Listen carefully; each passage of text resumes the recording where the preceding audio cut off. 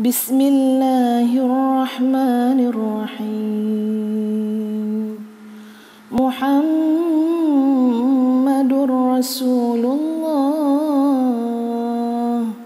والذين معه أشداء على الكفار رحماء بينهم تراهم ركعا سجدا يبتغون فضلا يبتغون فضلا من الله ورضوانا. سيماهم في وجوههم من أثر السجود. ذلك ذلك مثلهم في التوراة. ومثلهم في الإنجيل. كزرع أخرج شطأه فآزره فاستغلظ فاستوى على سوقه. يعجب الزراع ليغيظ بهم الكفار. وعد الله الذين آمنوا وعملوا الصالحات منهم. منهم مغفرة وأجرا عظيما صدق الله العظيم Muhammad adalah utusan Allah dan orang yang bersama dengan baginda bersikap keras terhadap orang kafir tetapi berkasih sayang terhadap sesama mereka. Kamu melihat mereka rukuk dan sujud mencari kurniaan Allah dan keradaannya. pada wajah mereka kelihatan tanda-tanda bekas sujud. Demikianlah sifat-sifat mereka yang diungkapkan dalam Taurat dan sifat-sifat mereka yang diungkapkan dalam Injil, yaitu seperti benih yang mengeluarkan tunasnya. Kemudian tunas itu semakin kuat, lalu menjadi besar dan tegak lurus di atas batangnya. Tanaman itu menyenangkan hati penanam-penanamnya kerana Allah hendak menimbulkan perasaan tidak senang pada orang kafir dengan sebab kekuatan orang mukmin. Allah menjanjikan kepada orang yang beriman dan mengerjakan kebajikan di antara mereka keampunan dan pahala yang besar. Sadaqallahul azim.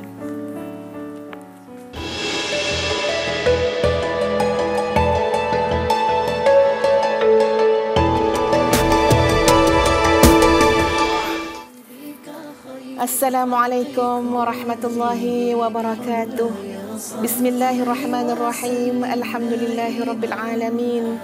Wassalatu wassalamu ala Rasulillahil amin wa ala alihi wa sahbihi ajma'in. Subhanaka la ilma lana illa ma 'allamtana innaka antal alimul hakim. Rabbi syrah li sadri wa yassir li amri wa hlul uqadatan min lisani yafqahu qawli. Rabbi yassir wa la tu'assir wa tammim bil khair. Apa khabar semua? Penonton di, di studio kita pada hari ini merupakan sahabat-sahabat kita daripada kumpulan wanita kasih Dun Semenyih. Assalamualaikum warahmatullahi Alhamdulillah tuan-tuan dan puan-puan sekalian bersiaran kita dalam rancangan Tanyalah Ustazah. Kali ini tuan-tuan tajuk kita Masya Allah macam bunyi tajuk sinetron pun ada. Ya, kepadamu ku bersujud. Ya bersujud kepada siapa tuan-tuan? Kepada Allah Azza wa Jalla. Dan sebentar tadi suatu ayat Quran yang sungguh indah telah Ustazah bacakan.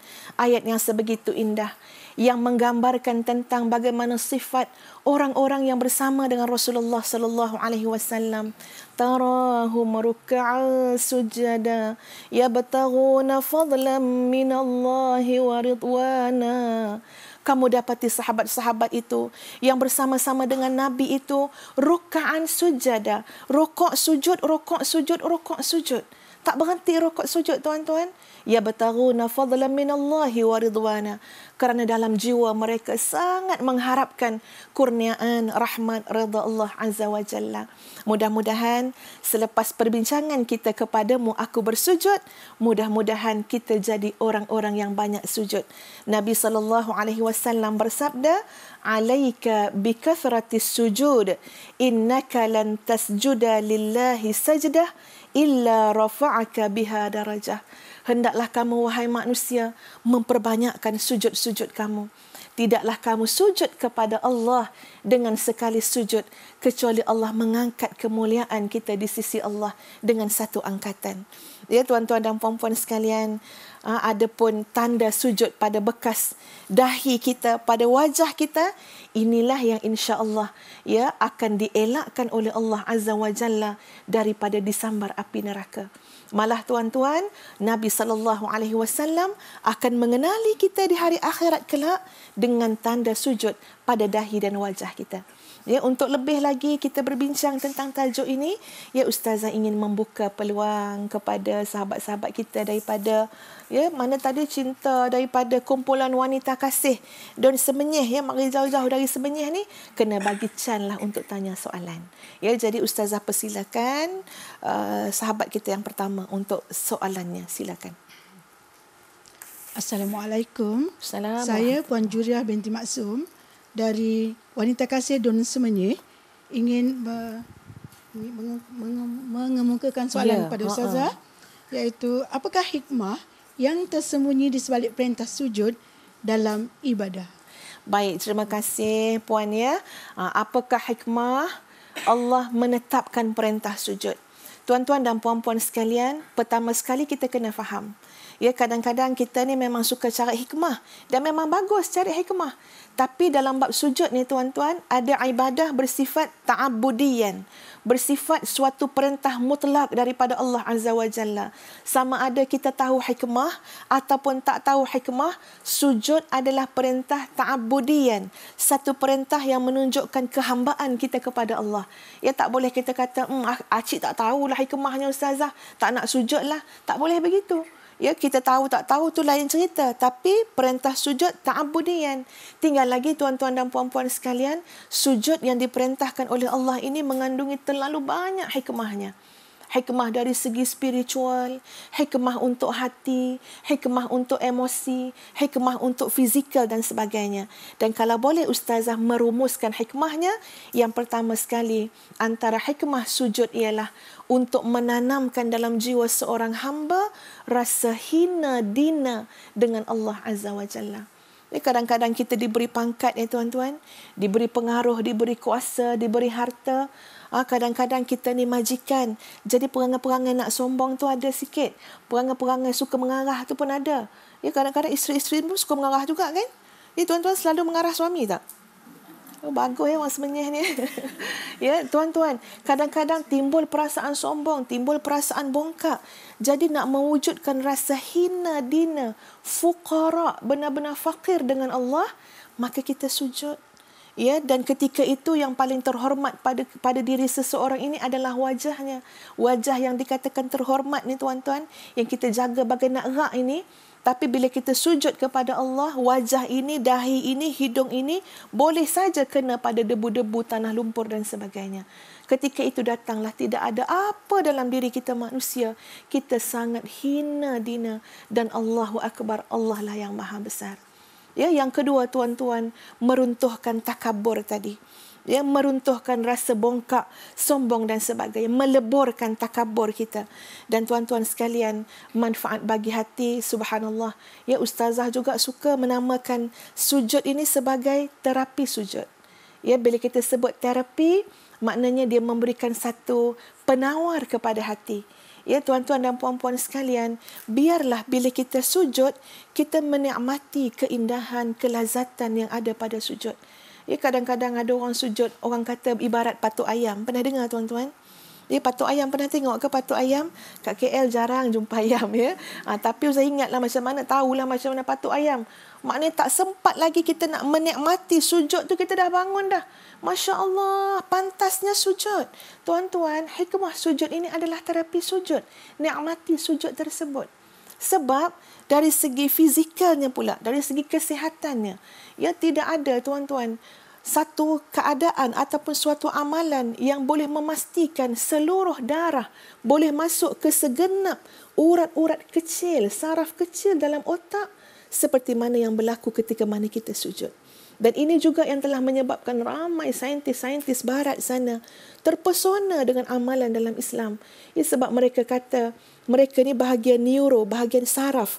Ya, mereka kata bagaimana dalam otak manusia ada ruang-ruang kecil yang tak boleh masuk darah. tak boleh sampai oksigen. Tetapi dalam Islam, bila mana adanya ibadah sujud yang kita sujud setiap hari. Nah, berapa kali kita sujud tiap-tiap hari? Sekarang ni ustazah bertanya pula, eh, bukan tanyalah ustazah lagi dah ni. Ya? Ha, berapa kali kita sujud tiap-tiap hari, tuan-tuan? Ha, tu kira macam-macam dah ya, tapi tak kira sujud berapa hari sehari. Kita sujud, wajib kita sujud paling kurang 34 kali sehari.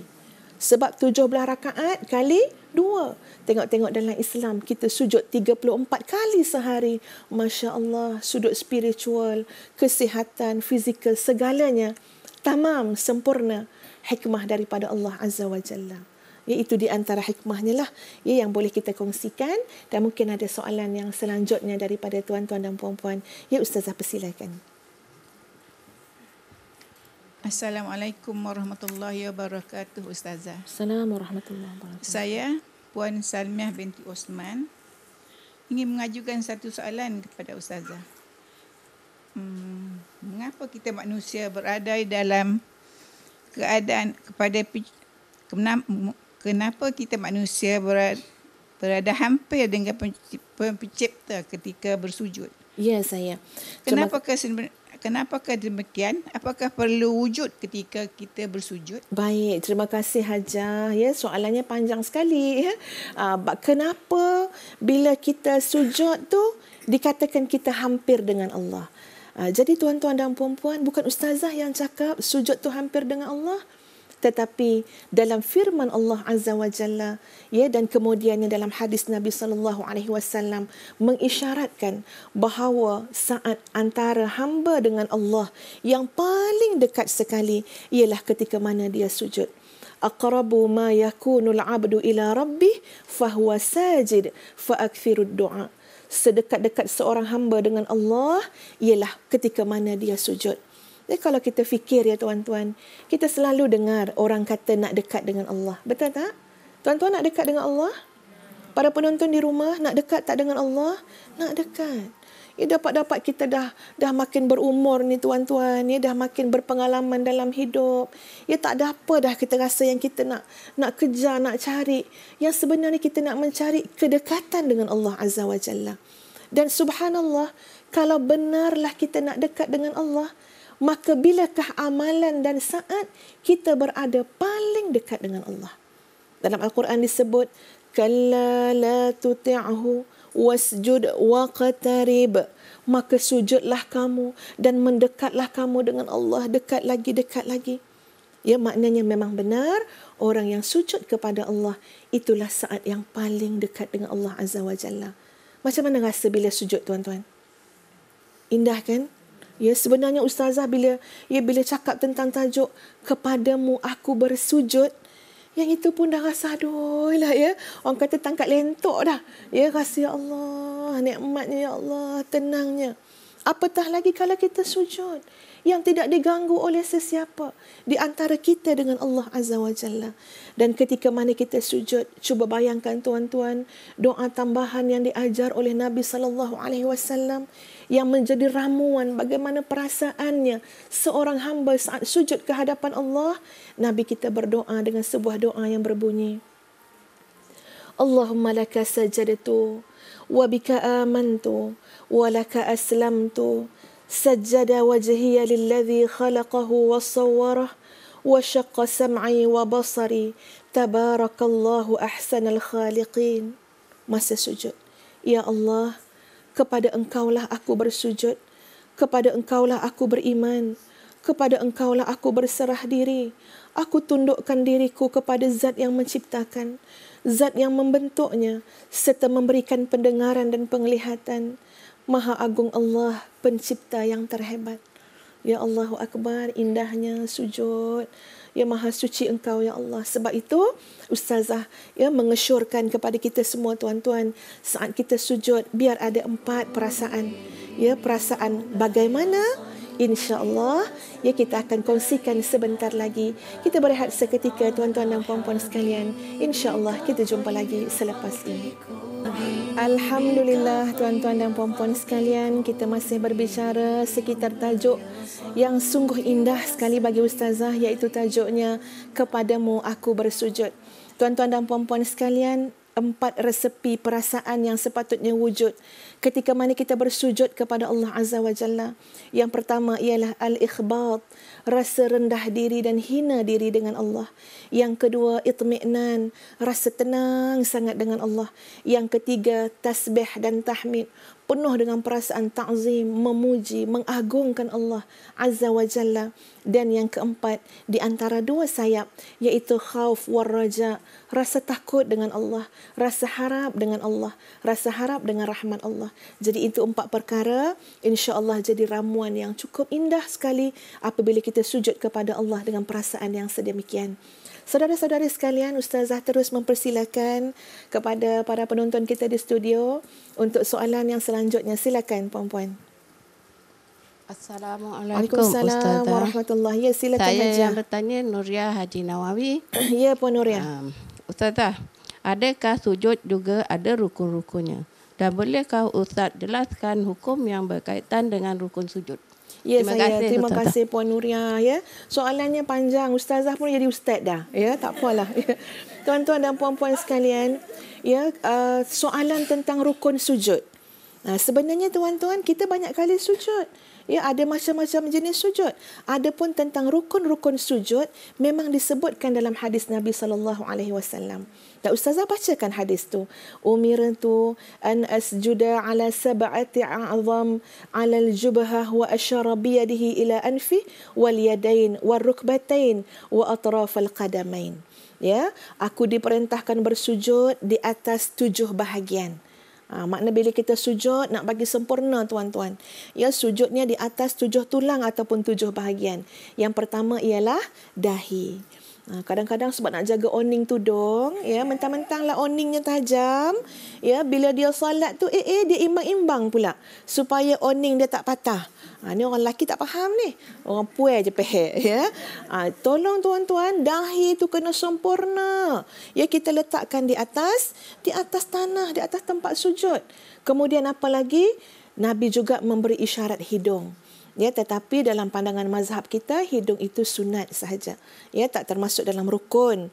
Ya, tapi kalau dapat sempurna, dahi dan juga hidung. Biar kita betul-betul benamkan wajah kita di atas tanah. Kemudian ya dua tangan, dua lutut dan juga dua hujung jari, ya kedua-dua tapak kaki. Bila mana tujuh-tujuh perkara ini benar-benar kena menyentuh bumi, maka itulah sujud yang sempurna insya-Allah. Ya, adapun yang afdal tadi hidung juga turut serta. Tuan-tuan dan puan-puan sekalian, jadi banyak sebenarnya hukum yang berkait dengan yang berkait dengan sujud. Pertama sekali tolong bila sujud kena ada tamak-ninah. Apa dia tamak-ninah? Ya, biar tenang sikit. Ya, jangan masya-Allah laju-laju sangat kita kita sujud. Rasulullah sallallahu alaihi wasallam bersabda, "Aswa'un nas surqah alladhi yusriqu min salatih." Qil, "Wa kaifa yusriq min salatih?" Qal, "La yatim ruku'aha wa sujudaha."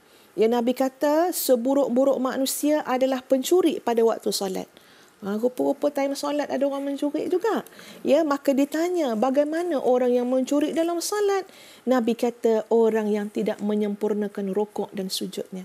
Ya, tak sempat dahi, tak sempat tangan nak menetap barang seketika, kita ni dah cepat-cepat bangun dah. Ya, sebab kain kat ampayan tak angkat lagi lah, anak kat sekolah tak ambil lagi lah.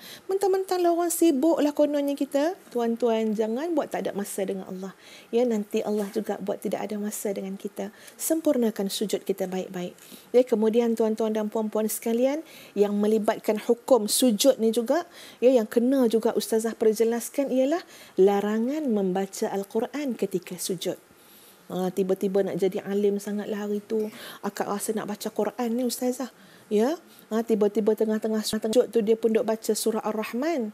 Ya, sampailah duk fa bi ayyi ala rabbikuma tukaziban. Orang belakang kata bila nak habis lah akak ni ya.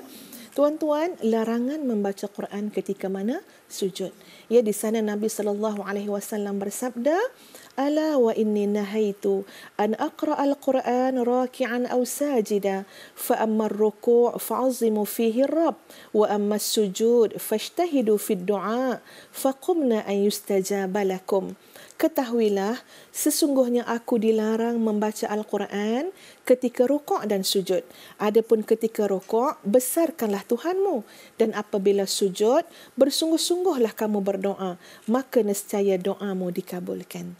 Ha, kadang-kadang mungkin timbul soalan juga Habis tu ustazah Kalau akak baca doa Rabbana hablana min azwajina Ila akhiril ayah Dalam Quran juga tu Tapi doa tak boleh ke ustazah kata tak boleh baca Quran?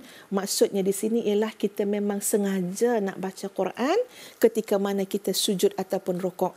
Adapun ayat-ayat Quran yang kita baca dalam bentuk doa, ya bentuk tasbih yang itu tidak menjadi masalah. Ya malah baik sangat kalau kita boleh berdoa dengan doa-doa makthur yang memang terdapat dalam Quran ataupun yang memang diamalkan oleh Nabi sallallahu alaihi wasallam.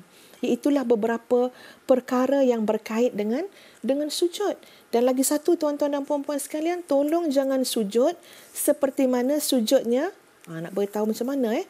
Jangan sujud seperti mana sujudnya anjing. Ha, ada juga orang sujud seperti mana sujudnya anjing.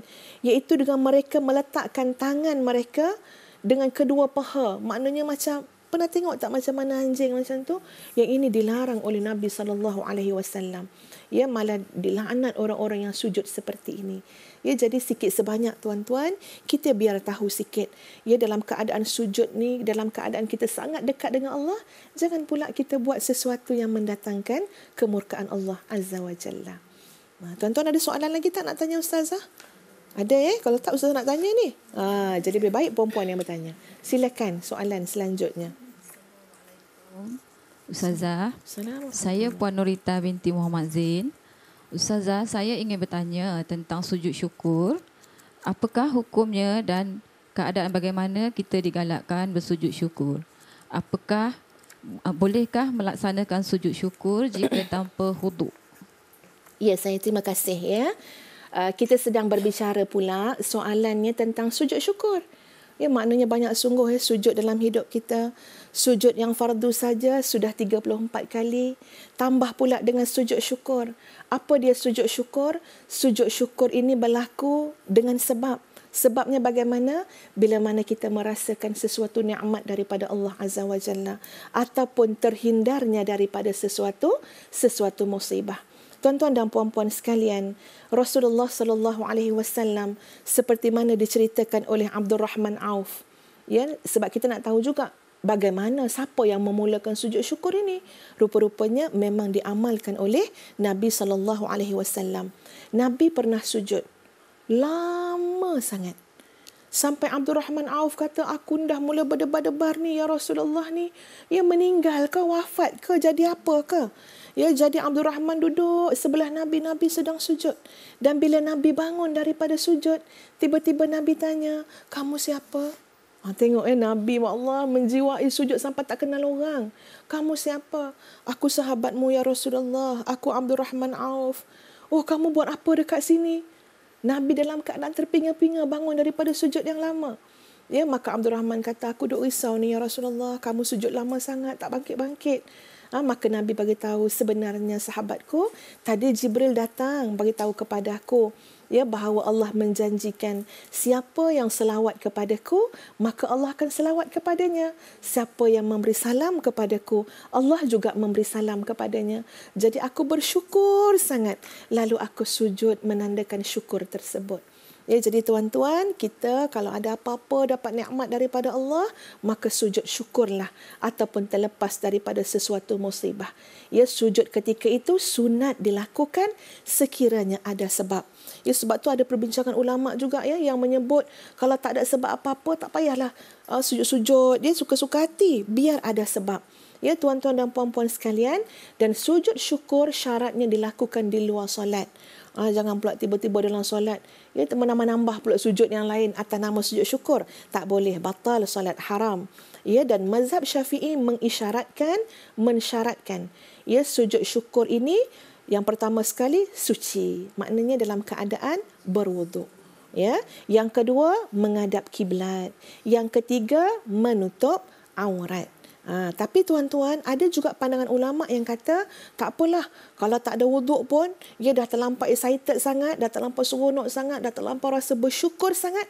Ada juga ulama yang mengharuskan melakukan sujud syukur pada saat yang kita benar-benar rasa bersyukur dengan Allah Azza wa Jalla. Tapi dalam pandangan mazhab syafi'i, ya, kebanyakan ulama mazhab syafi'i mengatakan mesti dalam keadaan bersuci. Dan ada beberapa waktu yang dilarang untuk sujud syukur. Ha, di antaranya ialah ketika mana mendengar khutbah Jumaat. Ha, ini orang lelaki ni ya dengan khutbah Jumaat sambil berangan-angan agaknya lah kan ya. Aduk fikir eh, ya Allah dapatlah ni bonus ni tahun ni ni bulan dapat bonus. Tiba-tiba orang duk dengar khutbah Jumaat dia duk sujud syukur seorang-seorang dia. Yang ni dilarang. Ya sujud syukur ketika mana mendengar khutbah Jumaat dan makruh sujud syukur pada waktu-waktu yang diharamkan salat Ha, jadi kita kena tahulah tuan-tuan ya dia punya bagaimana cara pula. Yang pertama sekali menghadap kiblat, kemudian kita bertakbir Allahu akbar, sujud sekali. Ha, sujud syukur tu sekali saja bukan dua kali. Sujud sekali dan kita boleh baca doa yang sama macam doa yang kita baca dalam sujud. Macam mana bunyi doa dia? Subhana rabbiyal a'la wa bihamdih. Ada pun nak baca doa-doa yang lain pun terpulang. Ya Rabbi auzi'ani an ashkura ni'mataka allati an'amta alayya. Ada ya ya Quran yang menunjukkan rasa syukur kita kepada Allah terpulang. Kemudian kita pun berilah salam sekali. Nah, itulah kaedah ataupun kaifiah untuk sujud syukur. Ya tuan-tuan dan puan-puan sekalian, itu tentang sujud syukur. Ya, maknanya mudah-mudahan kita semua jadi hamba Allah yang bersyukur. Mungkin ada soalan lagi daripada para muslimat. Dipersilakan. Ya, saya silakan. Assalamualaikum Ustazah. Saya Zainab binti Sama. Ya, saya. Uh, ingin bertanyakan tentang sujud tilawah. Baik. Uh, saya kurang pasti uh, surah manakah yang memerlukan saya bers saya bersujud tilawah selain dari surah As-Sajadah. Dan uh, saya minta soja, uh, ustazah jelaskan juga bagaimanakah uh, kaedah dan pembacaan yang afdal. Ya, saya dalam sujud tilawah dalam ya. Sujud tilawah. Terima, terima kasih, kasih puan, terima kasih hajah. Insya-Allah untuk mengetahui tentang sujud tilawah, ya jangan ke mana-mana tuan-tuan dan puan-puan sekalian. Kita berhenti seketika dan kita jumpa lagi insya-Allah selepas ini. Alhamdulillah tuan-tuan dan puan-puan sekalian, masya-Allah ya terus rancak kita berbicara tentang sujud daripada rukun-rukun sujud, sujud syukur dan sekarang kita berbicara tentang sujud tilawah pula. Ya, tuan-tuan dan puan-puan sekalian, ya sujud tilawah ini memang disyariatkan dalam Islam di mana makna, makna sujud tilawah ialah sujud bacaan iaitu sujud sekali antara dua takbir dengan membaca doa tasbih tanpa tasyahud dan salam. Ianya dilakukan semasa membaca ayat-ayat sujud atau mendengarnya. Ha, ya tuan-tuan dalam Quran ada 15 tempat. Ya 10 disepakati adapun 5 lagi dikhilafkanlah. Ya maknanya tak disepakati. 15 tempat dalam Quran yang kalau kita baca ayat tu ataupun kita mendengarnya daripada orang lain maka hukumnya sunat muakkad yang sangat dituntut untuk kita sujud. Kharru sujada ya kita rasa Allah hibanya ya Allah. Kita pun sujud tersungkur di hadapan Allah azza wa jalla jadi Abdullah ibnu Umar menyatakan kana Nabi sallallahu alaihi wasallam yaqra'u alaina al-Quran fa idza marra bisajdah kabbar wa sajjad wa sajadna ma'ah. Adalah Nabi sallallahu alaihi wasallam membacakan memperdengarkan kepada kami ayat Quran.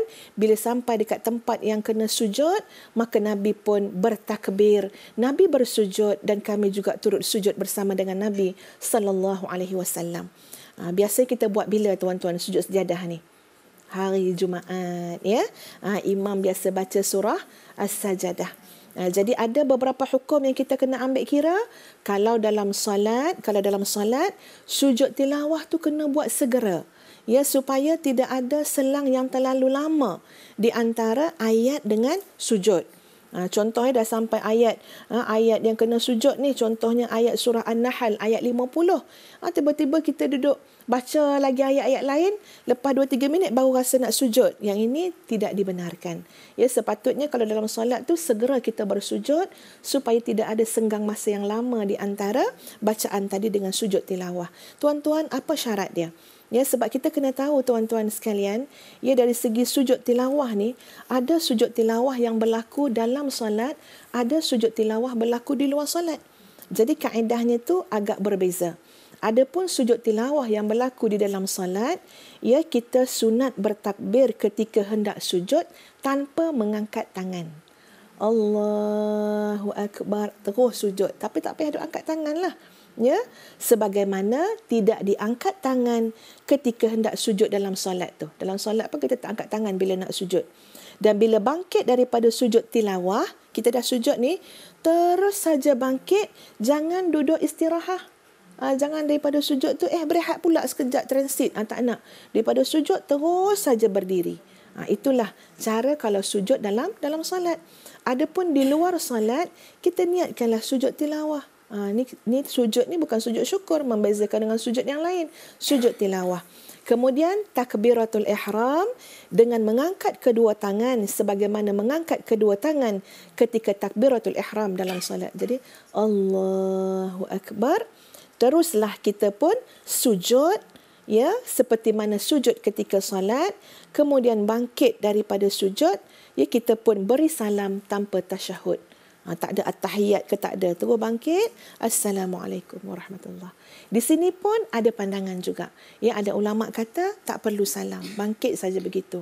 Ya, tapi yang Ustazah rujuk, kalau dalam pandangan syafi'i itu, kita bangkit daripada sujud, kita memberi salam. Sekali sahaja. Ha, jadi itu di antara tuan-tuan dan puan-puan sekalian, ya kaifiah ataupun cara untuk sujud tilawah. Dan pastilah tuan-tuan dan puan-puan juga nak tahu ya, masa sujud tilawah tu nak baca apa? Uh, macam-macam yang boleh dibaca semasa sujud tilawah. Ni ustazah bacakan tuan-tuan seperti mana yang pernah diamalkan oleh Nabi sallallahu alaihi wasallam. Ya di antaranya boleh saja baca sajada wajhiya lilladhi khalaqa wa syaqqa sam'ahu wa basarah bihaulihi wa quwwatihi. Bersujud wajahku kepada zat yang telah menciptanya, memberinya rupa, membukakan pendengaran dan penglihatannya dengan kuasa dan kekuatannya. Malah ada satu lagi tuan-tuan dan puan-puan sekalian, ya doa yang sangat indah ya.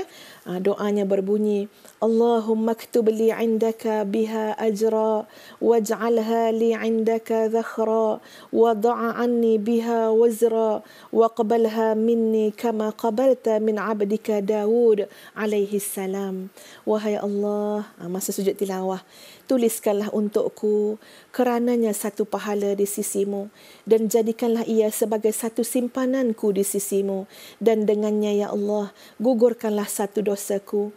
Terimalah ia sebagai ibadah dariku sebagaimana telah engkau terima ibadah dari hamba-Mu Daud alaihi salam Ya tuan-tuan dan puan-puan sekalian, macam-macam sujud yang boleh kita lakukan. Ya baca Quran dalam keadaan jumpa ayat tilawah, sujud. Ya terus menghina diri dengan Allah, Allahu Akbar. Kita ada panggilan telefon. Hello, Assalamualaikum. Waalaikumsalam warahmatullahi Ya, saya silakan. Saya, saya Supina Yusuf dari Tanjung Karang. Ya saya silakan Ah, puan. Ustazah nak tanya ni kan, apakah hukumnya Ustazah kalau kita baca Quran, Mhm. kita time waktu sujud tu kita tak buat sujud, sujud tilawah tu, apa hukumnya Ustazah? Ataupun ada yang boleh menggantikan ke bacaan-bacaan? Ah, okay ya. Baik, terima kasih Ya, pada. Hajah yang Betul. bertanya seperti mana yang Ustaz dah jelaskan tadi, hukum sujud tilawah itu adalah sunat muakkad yang sangat dituntut. Ya, jadi kalau kita tak buat tu maknanya khilafus sunnah lah.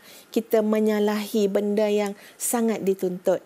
Ya, tak adalah kita kata berdosa dan sebagainya, tetapi itu bukanlah satu amalan ataupun kebiasaan yang sepatutnya jadi dijadikan kebiasaan oleh orang-orang yang nak mendekatkan diri kepada Allah. Sebab tuan-tuan, ya dalam 15 ayat ataupun 10 yang disepakati tempat-tempat yang kita kena sujud tilawah tu, ya bila kita baca kan memang dekat ayat tu benar-benar benar-benar memerlukan kita meyakini, menanam kembali dalam diri kita ini perasaan hina dina benar-benar menyembah Allah Azza wa Jalla sahaja.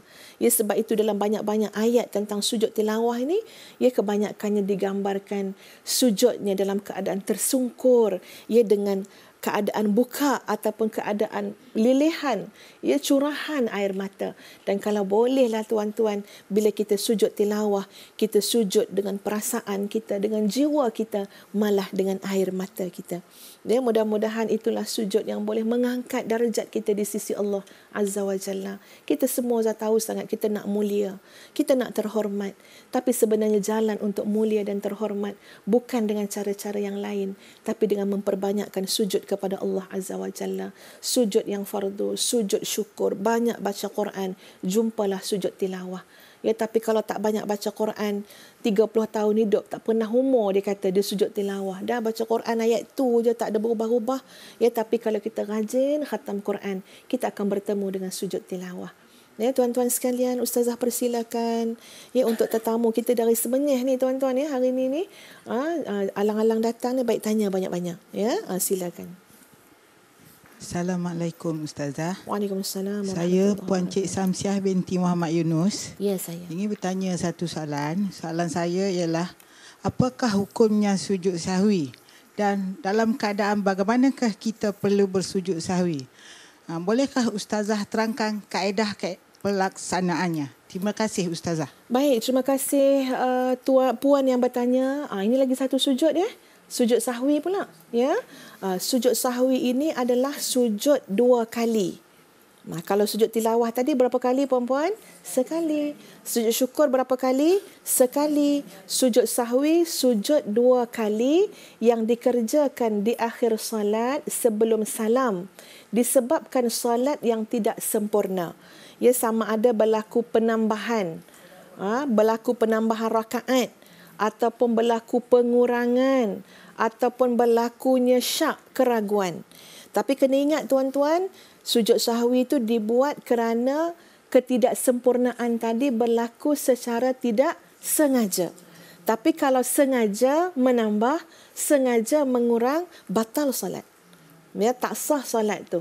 Jadi kerana tak sengaja tadi kita pun sujud sahwi dua kali. Bila sebelum kita bagi salam selepas kita baca tahiyat akhir.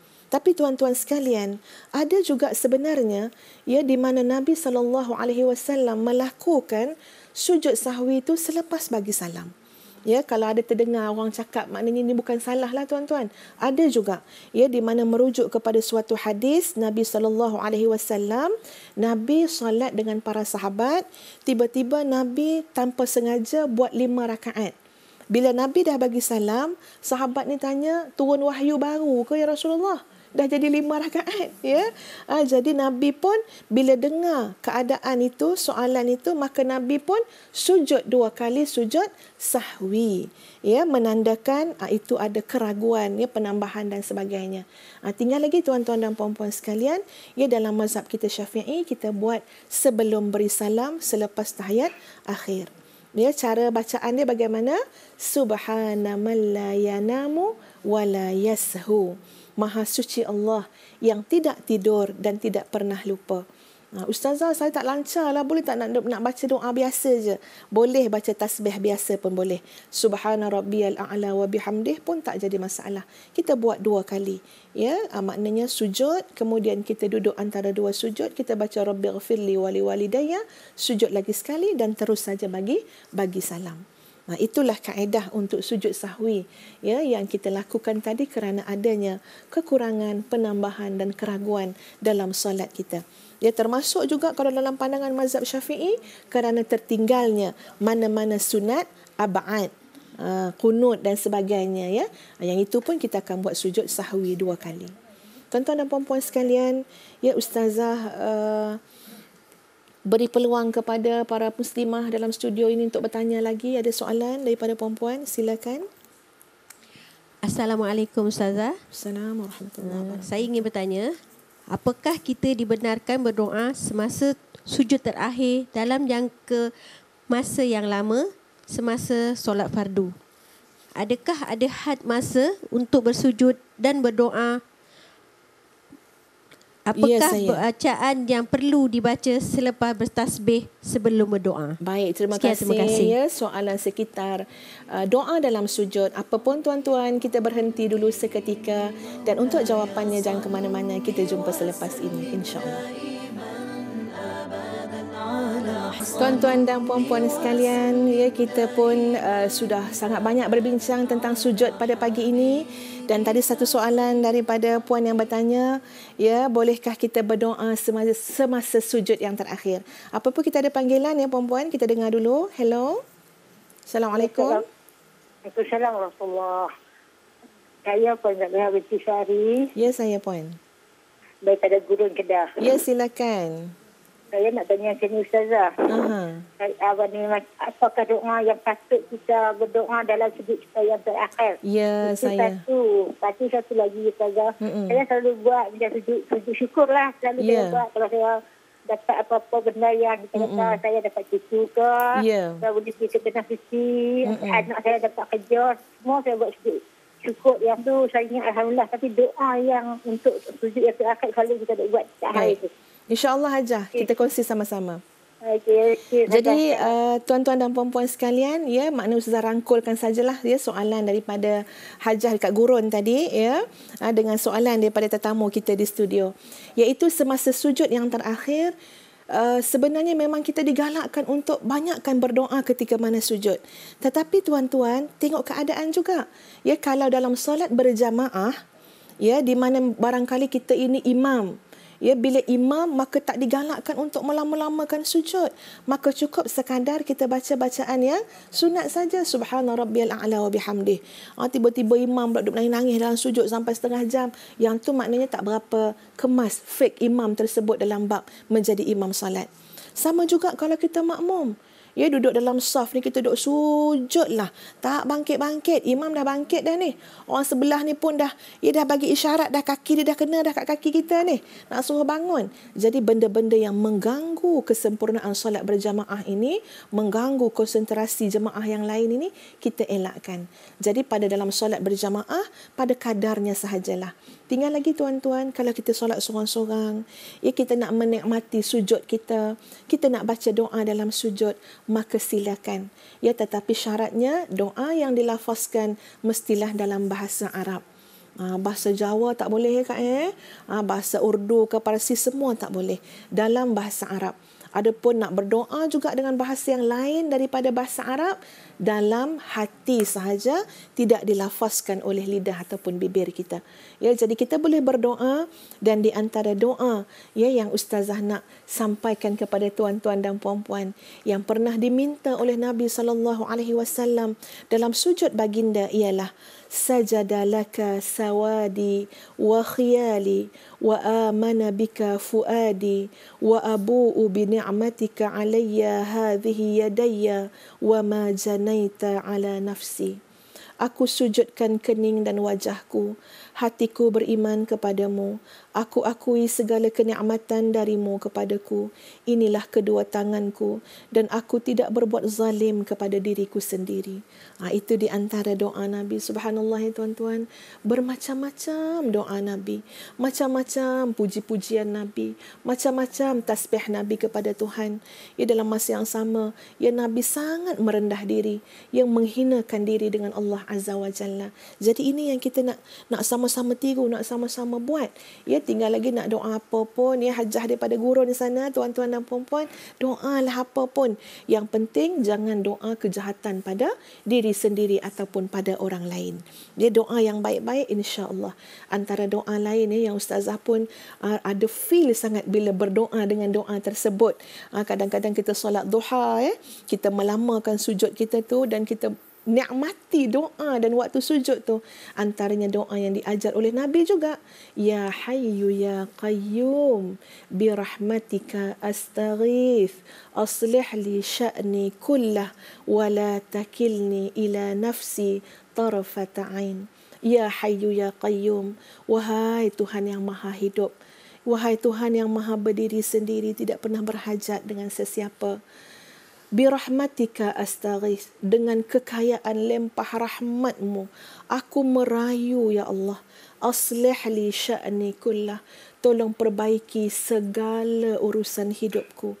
Wala takilni ila nafsi tarfat ain jangan engkau serahkan diriku kepada diriku sendiri walaupun pada kadar sekelip mata Ya ustazah secara peribadi puan-puan ya tuan-tuan. Kalau doa lah dengan doa tu rasa puas sangat. Sebab kita dah serah diri dengan Allah tolong ya Allah segala urusan bersangkut aku ya Allah. Dunia akhirat sebagai ibu sebagai anak sebagai isteri sebagai suami sebagai apa aslih li sya'ni kullah. Tolong perbaiki ya Allah segala urusanku jadi kita boleh menghayati sujud ya benar-benar mendekatkan diri kita dengan Allah Azza wa Jalla mudah-mudahan. Ha, Ustazah nak bagi satu kali lagi chan ni pada penonton di studio ya untuk bertanyakan soalan. Silakan. Ada soalan? Assalamualaikum. Waalaikumsalam. Saya ingin bertanya pada ya, Ustazah. Saya, silakan. Manakah yang lebih Manakah yang lebih afdal berdoa di dalam sujud yang terakhir di dalam solat atau selepas solat? Ya saya. Terima kasih. Baik, terima kasih. Ada juga soalan. Ah, kadang-kadang orang solat hajat kan, ya, ah, nak solat kat mana ni? Nak solat masa sujud akhir ke ataupun solat ataupun kita doa lepas lepas solat. Sebenarnya tuan-tuan dan puan-puan, kedua-duanya ada keutamaannya sendiri. Ya, kedua-duanya insya-Allah adalah waktu-waktu yang mustajab doa. Ha, tadi kita dah bincang dah nak doa masa sujud pun boleh, nak doa lepas kita ibadah, lepas kita solat pun boleh. Yang ustazah nak tekan tu bukan masa doa tu saja. Yang ustazah nak tekan ialah doa yang paling mustajab, ialah doa yang kita benar-benar rafakkan ke hadarat Allah dalam keadaan muqinun bil ijabah. Yakin Allah akan mustajabkan. Dalam keadaan datang daripada lubuk hati kita yang paling dalam. Tidak ada datang daripada qalbin ghafil tak datang daripada hati yang lalai. Ha, kalau bersatulah segala syarat tersebut dalam sujud pula tu waktu yang paling dekat dengan Allah ataupun lepas solat yakin dengan Allah tidak lalai dengan doa ya malah kita berdoa daripada lubuk hati yang paling dalam insya-Allah hajat kita akan dikabulkan oleh Allah azza wa jalla. Tinggal lagi tuan-tuan biarlah kita yakin dengan Allah Allah memustajabkan doa kita sesuai dengan ilmu Allah Azza wa Jalla. Ya jangan tunjuk pandai sangat dengan Allah. Kita nak Allah mustajabkan juga persis seperti mana yang kita minta Ha, kalau ada ibu tunggal kat sini tiba-tiba terminat dengan imam masjid pula contohnya lah. Ya nak haji bakar haji bakar haji bakar. Ya Allah ya Tuhan bagilah kahwin haji bakar juga. Eh kalau ustazah tak berani tuan-tuan. Sebab kita tak tahu entah baik entah tidak haji bakar tu esok lusa. Lebih baik kita berdoa pada Allah ya Allah sekiranya baik Ha, jadi tuan-tuan dalam berdoa juga ada adabnya. Jangan tunjuk pandai pula dengan Allah Azza wa Jalla. Biar kita berdoa dalam keadaan aku pun tak tahu ya Allah. Aku ni bodoh-bodoh saja. Aku ni lemah hina dina. Ya aku bergantung pada kebijaksanaan dan ilmumu. InsyaAllah doa-doa yang seperti ini dimustajabkan Allah. Tuan-tuan dan puan-puan sekalian, ya panjang kita berbicara tentang sujud ya bukanlah perbicaraan ini. Ya sengaja-sengaja nak mena, nak mengisi masa-masa kosong kita tengah hari ini. Bukan tuan-tuan. Tapi ustazah berharap ustazah tuan-tuan dan puan-puan di luar sana di rumah ya tuan-tuan dan puan-puan di studio kita menjadi orang-orang yang banyak sujud kepada Allah azza wa jalla. Ustazah nak bacakan satu hadis bagaimana nanti kita akan dikenal oleh Nabi sallallahu alaihi wasallam ya, kita tak berkesempatan atas muka bumi ini untuk bertemu dengan Nabi. Ya sahabat yang berkesempatan pun ya duk risau lagi tanya dengan Nabi ya Rasulullah, bagaimana engkau boleh menjamin aku untuk hidup bersama dengan kamu, bangkit besok dengan kamu dekat akhirat. Maka Nabi kata fa'inni ala nafsika bi kathratis sujud. Aku boleh jamin kamu dengan syarat ya kamu kena banyakkan sujud kepada Allah Azza wa Jalla. Tuan-tuan, besok kita akan dibangkitkan di padang mahsyar. Jutaan manusia, bilion manusia. Apakah Nabi kenal dengan kita? Satu hadis Nabi sallallahu alaihi wasallam menjadi rujukan, "Ma min ummati ma min ummati min ahadin illa wa ana a'rifuh yaumal qiyamah." Tidak ada seorang pun dari kalangan umatku yang aku tak kenal hari akhirat besok. Nabi akan kenal Wa kaifa ta'rifuhum ya Rasulullah? Sahabat duk tanya, ya Rasulullah, macam mana kamu boleh kenal umat kamu? Ya fi kathratil khalaiq, dalam keadaan makhluk yang cukup ramai. Hari akhirat besok dihimpunkan. Nabi bersabda, Ara'aita law dakhilta sabrah fiha khailun duhmun buhmun wa fiha farasun agharru muhajjal. Nabi kata, apa perasaan kamu, apa pandangan kamu? Kalau datang kuda yang hitam-hitam legam segala-gala tiba-tiba di tengah-tengah kuda hitam ada kuda yang putih berseri-seri bersinar-sinar. Ama kunta ta'rifuhu minha apakah kamu tak boleh tengok dia? Boleh kata sahabat. Maka nabi kata fa inna ummati yawma idzin ghurrum minas sujud muhajjalun minal wudu. Umatku besok dekat hari akhirat nampak wajahnya putih cahaya pada sujud. Ya bekas dahi, bekas wajah yang sujud dan juga pada anggota wuduk. Tuan-tuan dan puan-puan sekalian, mudah-mudahan kita banyak sujud kepada Allah. Lillahi ta'ala. Dan kita telah sampai ke akhir rancangan Tanyalah Ustazah kita pada kali ini.